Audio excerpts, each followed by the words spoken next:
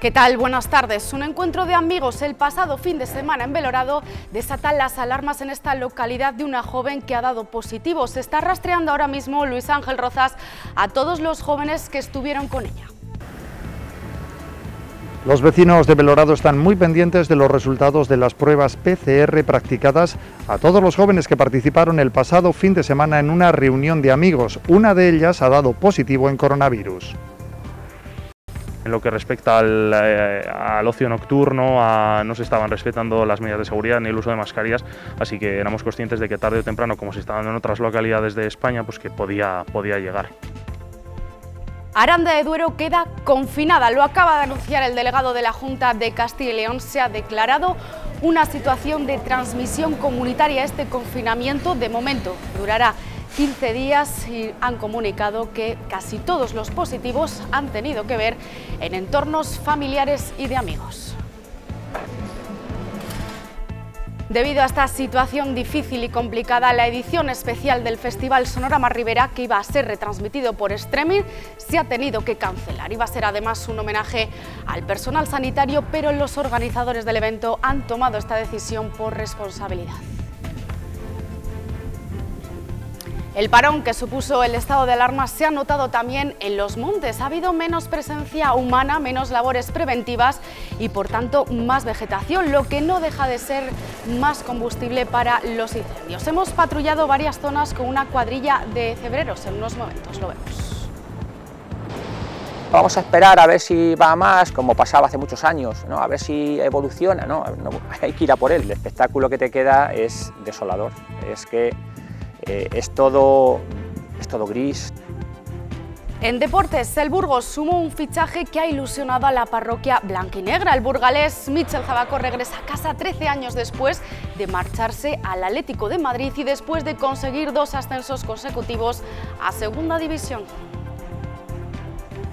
Tengo máxima expectación por lo que podamos hacer este año. Yo creo que está construyendo un proyecto desde los cimientos eh, muy sólido, con una base muy consolidada y que a partir de ahora ya tenemos que empezar a dar el do de pecho en el campo para llevar un poco al club donde, donde se, se merece.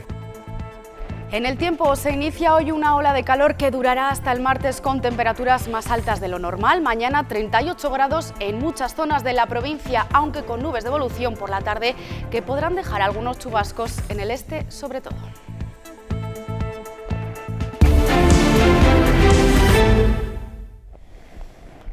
Una cena de amigos este pasado fin de semana en Belorado desata las alarmas en esta localidad. Una joven ha dado positivo y se está realizando un seguimiento a todos los contactos que estuvieron con ella. Luis Ángel Rozas. El Centro de Salud de Belorado ha practicado en torno a 40 pruebas PCRs a los contactos que estuvieron presentes en esa reunión de amigos del pasado fin de semana en el que una joven ha dado positivo en coronavirus. El ayuntamiento de la localidad ha expresado su preocupación ante la práctica del botellón durante los fines de semana. Los vecinos de Belorado están a la espera de conocer el alcance del primer contagio tras el confinamiento. Yo no tengo miedo. ¿Para qué? Pues si tienes miedo y te viene vas a morir igual. El positivo corresponde a una persona joven que el pasado fin de semana participó en una reunión de amigos. Varios grupos pues eh, continuaron la fiesta en, en, zonas o en sitios cerrados y bueno, ahí parece ser que, que se dio el, el, positivo. El centro de salud ha comenzado a rastrear a todos sus contactos y están a la espera de conocer los resultados de los PCR. Después de esta noticia yo creo que ya es la, la gota que colma el vaso y que hace que todo el mundo se dé cuenta que, que hay que seguir manteniendo las medidas de seguridad contra el coronavirus. Desde hace semanas hay preocupación en esta localidad por las aglomeraciones de jóvenes practicando botellón. Al ocio nocturno, a, no se estaban respetando las medidas de seguridad ni el uso de mascarillas, así que éramos conscientes de que tarde o temprano, como se está dando en otras localidades de España, pues que podía, podía llegar. Que ha habido dos, tres sábados que ha sido pues, muy mal. Contagios que podrían afectar a la residencia de ancianos de la localidad donde trabaja una familiar de la persona que ha dado positivo. La semana pasada pues, se restringieron las visitas y las salidas de los residentes. En función de la evolución de los contagios, el ayuntamiento podría suspender la amplia programación cultural prevista para el próximo fin de semana. Lo acaban de anunciar, la Junta restringe la libre entrada y salida de personas en la localidad de Aranda de Duero para intentar poder frenar la expansión de este virus. La localidad ha sido declarada zona de transmisión comunitaria. Hasta Aranda de Duero nos vamos. Lidia Corral, buenas tardes. ¿Cómo está la situación en esta localidad? Buenas tardes. Pues aquí en Aranda han seguido toda la mañana en vilo esas comunicaciones, esa información que acabamos de conocer. El delegado territorial de la Junta ha declarado la zona de Aranda la zona de transmisión comunitaria. Se restringe la movilidad de entrada y salida para intentar frenar esa transmisión del virus. Aquí esta mañana los vecinos seguían en vilo, seguían tranquilos, con cierta preocupación y con algo de autocrítica. Hacían autocrítica. Creen que si se ha llegado a esta situación es porque algo no se ha hecho bien. Muy mal, pero también nos lo hemos buscado un poco. La gente no ha sido responsable y, y estas son las consecuencias. Que yo de momento bien no, no tengo miedo. Están haciendo fatal. Fatal. Que aquí seguimos normales, con precaución y cuidado, pero, pero normales. Dentro de lo malo que lo es, pero bueno, intentamos tener abierto y cumplir todas las medidas y ser los más positivos posible.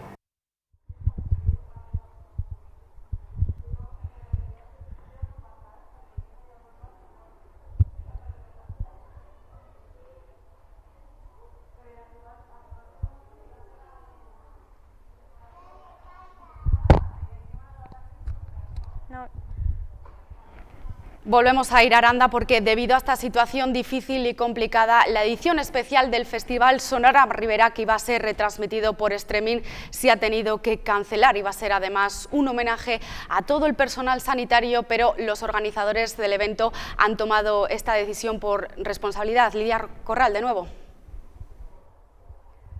Sí, desde la organización creen que dada la situación actual aquí en esta localidad, creen que lo más conveniente es cancelar. El festival estaba dedicado a esas personas que habían estado en primera línea de la batalla durante la crisis sanitaria. Creen esta decisión ha sido tomada en, en consenso entre la organización, el Ayuntamiento de Aranda y el hospital. De momento no se conocen nuevas fechas para este festival, lo que sí sabemos es que el concierto de Viva Suecia que estaba programado para esta noche sigue en pie.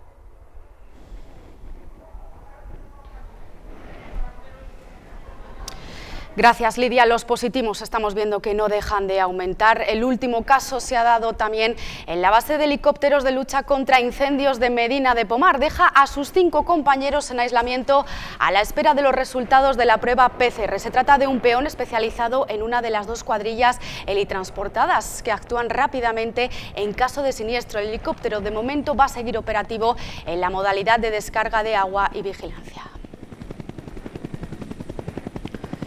Más asuntos. La Junta ha declarado alarma por riesgo de incendios forestales hasta mañana. Las altas temperaturas que esperamos estos días vendrán acompañadas por un aumento del viento en el sur, oeste y centro de la meseta. Por ello, se regula el uso del fuego. Estos días, además, queda totalmente prohibido trabajar en el monte con maquinaria que pueda generar chispas y descargas, como las cosechadoras y las empacadoras. La Consejería solicita a la población que extreme las precauciones y se ponga inmediatamente en contacto con el 112 en caso de un posible incendio forestal. El parón que supuso el estado de alarma se ha notado también en los montes. Ha habido menos presencia humana, menos labores preventivas y, por tanto, más vegetación, lo que no deja de ser más combustible para los incendios. Hemos patrullado varias zonas con una cuadrilla de cebreros. En cuanto hay el más mínimo indicio de que hay un fuego en el monte, hay que salir.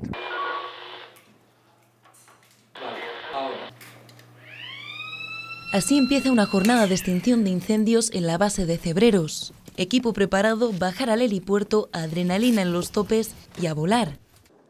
Como ven, la respuesta es inmediata. Si empezamos con, bueno, vamos a esperar a ver si va más, como pasaba hace muchos años, ¿no? a ver si evoluciona, ¿no? no hay que ir a por él. 2020 de momento está siendo un año tranquilo, pero el confinamiento ha tenido sus consecuencias en los montes. Los caminos igual han reducido su anchura porque la, la vegetación lo va un poco invadiendo. ¿no? Una de las imágenes más desoladoras que deja un incendio es esta que podemos ver justo debajo de nosotros. Un campo completamente destrozado por las llamas y que no se recuperará hasta dentro de muchos años. El espectáculo que te queda es desolador, es que eh, es, todo, es todo gris, es todo negro en medio de esa, de esa mancha oscura sobresalen troncos de los árboles totalmente calcinados. Entonces te queda también una, la impresión de que, de que has perdido una parte de tu vida. Tito aprendió a manejar helicópteros en el ejército de tierra y ahora lleva los mandos de la leyenda en las campañas contra incendios. Un trabajo que te expone a condiciones extremas. Aguantando muchas veces eh, situaciones de 40 grados, un frente de llama impresionante, con desniveles muy acusados. Si no te gustase eh, defender la naturaleza, no podrías aguantar esa situación. Avalado por su experiencia, Tito aboga por una mayor continuidad de trabajo para el personal de tierra. Dice que así estarían mucho más preparados para combatir el fuego.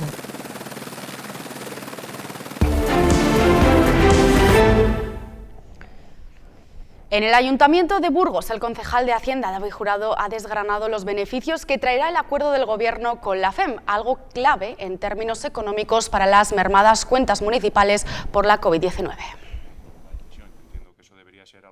Acuerdo muy favorable para los ayuntamientos. Así ha valorado el concejal de Hacienda el documento firmado por el Gobierno y la Federación Española de Municipios y Provincias para frenar el impacto de la COVID-19 en las cuentas municipales. Lo más importante de las medidas adoptadas es la permisividad para incumplir la regla de gasto que evita la intervención, algo fundamental. La consecuencia que tiene es la intervención de las cuentas y la aplicación de un plan económico y financiero. Por lo tanto, es fundamental, como digo, que el Gobierno haya tomado esta decisión. Además, el ayuntamiento recibirá 1,6 millones de euros por la reducción en el número de usuarios de autobús urbano. Desde luego, los autobuses es uno de los eh, servicios donde más se está notando la caída de ingresos y, por lo tanto, bienvenido será estos, estos fondos a fondo perdido que, llegan del, del Gobierno. Por otro lado, el acuerdo, muy criticado antes, durante y después de la firma, conlleva un carácter voluntario en cuanto al uso de los remanentes de tesorería es un sistema al que nos podremos acoger de forma voluntaria. Aquí a nadie se le va a obligar a entregar sus remanentes. Los ayuntamientos haremos en cada caso lo que más nos interese. Y es un sistema voluntario, por lo tanto, ni se confisca a nadie, ni se roba a nadie, ni se le quitan los ahorros a nadie, como ha intentado hacer ver el Partido Popular. El documento deberá de ser aprobado en forma de decreto ley en el Congreso de los Diputados. Jurado ha aprovechado esta comparecencia para criticar la actitud del PP. Los populares han aprovechado agosto para mantener la oposición municipal, utilizando ruedas de prensa para ofrecer datos a su juicio falsos. Primero fue Carolina Álvarez acusando al equipo de gobierno de la falta de mantenimiento en el mobiliario urbano y después Carolina Blasco recalcando que se completen las fases de rehabilitación de la calle Alcalde Martín Cobos y que están en proceso de redacción, por lo que ha calificado estas críticas de ridículo. Les ha entrado este espíritu frenético de agosto, eh, diciendo que hay que trabajar mucho, y me parece muy bien que lo trabajen, pero que lo trabajen bien, porque si no, lo que hacen es el ridículo, insisto. Por otro lado, Vox pide que se replique la iniciativa de financiación que realiza Sodebur en la provincia de Burgos y que permite a los emprendedores y empresarios recibir créditos de hasta 25.000 euros a bajo interés. Desde Vox no entienden que esto mismo no se haga en la capital y propondrán en la próxima Comisión de Desarrollo Económico e Innovación que se pongan en marcha y más con la actual situación derivada de la pandemia. O que, demuestre que tiene el 15% de los recursos puede haber beneficiarios de varios tipos y estaríamos hablando de unos, de unos créditos, como he dicho antes, hasta 25.000 euros y con eh, un tipo de interés que incluso en estos dos primeros años sería de un 0% y posteriormente un 0,75%. Más asuntos. Esta mañana un burgalés ha presentado una denuncia conjunta por el extravío de 8.000 décimos del sorteo especial de verano de Lotería Nacional que se celebrará este sábado. Es difícil desear que no te toque la lotería, pero eso le ocurre a Vicente y a otros tantos que, como él, juegan uno de los cientos números que se han extraviado antes del sorteo especial de verano de Lotería Nacional de este sábado. Todos ellos pertenecen a administraciones de Burgos y Zamora. Son 8.000 décimos que se va, a hacer un sorteo sin esos números y no nos dan ninguna explicación el, motivo de, de si les han robado o se les ha perdido a correos. Estos décimos deberían haber llegado a tres administraciones de la capital, las de la calle Santander, Avellanos y Santiago. A pesar de las quejas de los clientes, Loterías y Apuestas del Estado ha decidido no volver a imprimir estos números. Esos números solo están en las administraciones que, que tienen adjudicado, porque son números enteros de cada administración. O sea, eso no los puede vender ninguna administración de España, nada más que la administración que, la, que las tiene adjudicadas. Vicente jugaba dos de los números extraviados desde hace 17 y 33 años respectivamente. Aún así, las administraciones no le dan ninguna solución. Aquí jugaremos a la semana unos 50 décimos. Son los que yo tengo los nombres y los apellidos de la gente y los decimos y mañana voy a ir a comisaría a denunciarlo. Por ello ha presentado esta mañana una denuncia conjunta en su nombre y el de todos sus clientes con el objetivo de cubrirse las espaldas si alguno de los números resultase premiado.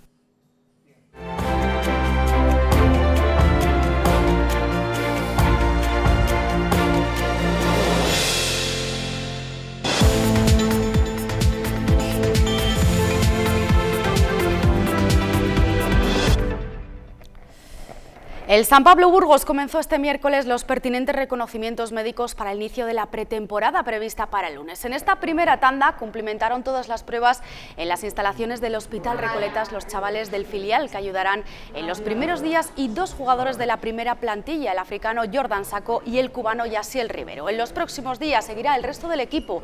Además, el equipo azulón ha hecho oficial lo que era un secreto a voces, la llegada del norteamericano Ken Horton procedente de Brescia. Lo de Y uno de los hombres que pasó ayer esos reconocimientos, el cubano Yasiel Rivero, ponía fin de esta manera a un culebrón que sabía que iba a tener final feliz, pero se dilataba en el tiempo. El conjunto azulón confirmó la renovación por una temporada más del valiente a la pivot. El caribeño aterrizó en Burgos la pasada campaña tras una cesión a Boca Juniors y poco a poco se ganó un hueco en la pista y en los corazones de los aficionados por su entrega intachable, su valentía y su simpatía fuera de la cancha. Retenerle era un objetivo fundamental para la dirección deportiva. El Burgos cerró este miércoles uno de los fichajes más deseados por la parroquia blanquinegra en las últimas temporadas. El zaguero burgalés Michel Zabaco regresa a casa después de una larga trayectoria en el fútbol profesional y buscando su tercer ascenso consecutivo, ahora con el club de su tierra. Miguel Zabaco Tomé nació en Burgos un 6 de febrero de 1989. Tras pasar por el río Vena y coincidir en un histórico Tebicon juvenil con jugadores como Andrés González, en el verano de 2007 salía de nuestra ciudad para poner rumbo al Atlético de Madrid. De la cantera colchonera pasó a la Almería y de ahí a Cultural Leonesa, Cartagena, Ponferradina y Unión Deportiva Logroñés. Ahora tiene una gran ilusión por volver a su tierra natal. Tengo máxima expectación por lo que podamos hacer este año. Yo creo que está construyendo un proyecto desde los cimientos eh, muy sólido, con una base muy consolidada y que a partir de ahora ya tenemos que empezar a dar el do de pecho en el campo para llevar un poco al club donde, donde se, se merece. En cuanto a lo que puede aportar, el central lo tiene claro. Puede, puede aportar serenidad eh, y sobre todo eh, un buen, hacer, seguir, hacer un buen grupo que yo creo que es eh, fundamental, es eh, primordial pues, para conseguir eh, ese, esos ansiados objetivos que tiene el club desde hace años. Michel considera además fundamental para el proyecto que vuelva a existir la simbiosis entre público y equipo. Todo el mundo cuando juega de visitante aquí eh, sabe dónde viene, sabe un equipo a un campo que aprieta, pues que sigan igual, que sigan eh, ayudando al equipo como están haciendo estos años y que siga manteniendo esa expectación que sigue creciendo día a día. El zaguero es el tercer fichaje del Burgos Club de Fútbol 2020-2021 que podría cerrar en las próximas horas la incorporación del sevillano Raúl Navarro. El Ubu San Pablo sigue presentando a los componentes de la plantilla que defenderá su escudo durante la temporada que viene. Hoy les ha tocado el turno al catalán Dalmu Huitz y al andaluz Samuel Gómez, dos hombres con experiencia en la división de plata que aportarán su oficio y calidad al equipo de Nacho González. Dos jugadores de contrastada experiencia en el balonmano nacional ya forman parte del Ubu San Pablo. El primero de ellos es el cordobés Samuel Gómez. A sus 24 años, su 1,93 y 120 kilos de peso le convierten en un jugador muy peligroso, especialmente en la faceta ofensiva. Ha jugado en la Soval con el Teucro y la pasada temporada no tuvo suerte en Torrelavega. Pensaba salir al extranjero, pero se decantó por una propuesta que juzga muy interesante. Se me presentó, me pareció muy, muy interesante bueno, aquí estoy con con ganas de, disfrutar de, del balonmano, a ver si, si bueno, el tema este de, del coronavirus no, nos lo permite y, y, poco más, con muchas ganas de que empiece la temporada. El otro nuevo integrante del equipo es el catalán Dalmau Wix. Formado en la cantera de Bordils, jugó allí cuatro años antes de pasar a Torrelavega y Zamora, donde ha militado en las dos últimas campañas. A sus 27 años, su 1,90 de estatura y sus 93 kilos le permiten jugar en los dos laterales y destaca que en el grupo que se va a encontrar el cuadro burgales los viajes serán un factor determinante un viaje de 7 horas en autobús o de, aunque vayas en avión, pero ya tienes que ir al aeropuerto, al aeropuerto volar, tal, pues es complicado jugar. En lo que coinciden ambos es en la importancia de Nacho González para haberse decidido a recalar en Burgos. Cuando hablé con él, simplemente me, pareció que todo lo que me contaba me, gustaba, me parecía interesante. Eh, le conocía de, bueno, le conocía, había oído hablar de él, cuando tenía con Valladolid y tal, me decían que es buen entrenador. Conozco su, trayectoria, su trayectoria como entrenador y demás, no lo, no lo conocía personalmente, pero, pero bueno, evidentemente sí que sí que tuvo parte de culpa de que al final pues yo hoy esté aquí. Los entrenamientos comenzarán el próximo día 10 en el Polideportivo de Lavaderos.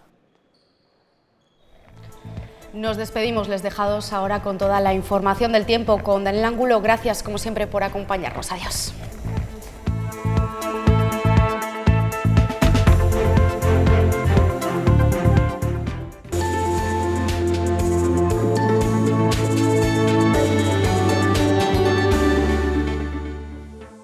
En la imagen del satélite hoy vemos que los cielos están totalmente despejados en la península ibérica, no hay nubes ni siquiera en las costas, aunque ya aparecen algunas nubes de desarrollo en el centro que luego se han ido trasladando hacia el norte. Y en la situación prevista para mañana, bajas presiones relativas sobre el norte de España, algo que ocurre pocas veces, solo cuando una masa de aire muy cálido se extiende por toda la península. Mañana jornada de mucho calor, aunque por la tarde aparecerán nubes de desarrollo que dejarán algunas tormentas en la cordillera cantábrica y también en zonas como vemos del norte y este de nuestra provincia. Concretando ya más para nuestra provincia en este viernes 7 de agosto.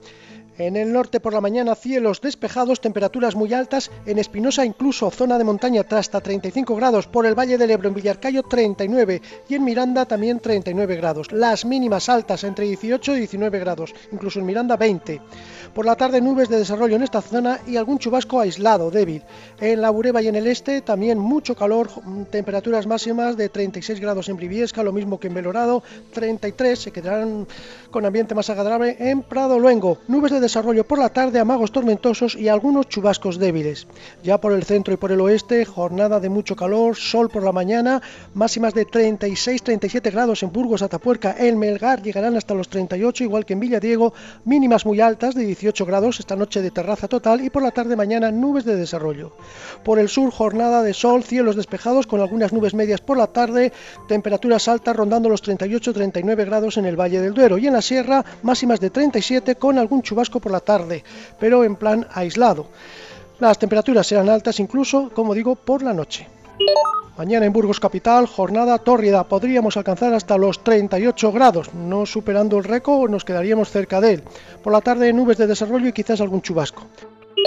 En los días siguientes continuará el fuerte calor, que nos acompañará prácticamente todo el fin de semana. Y ya están rojos los frutos de la zarzamora, como vemos, floreció a finales de julio y parece que los frutos ya van a estar listos para comer a final de este mes.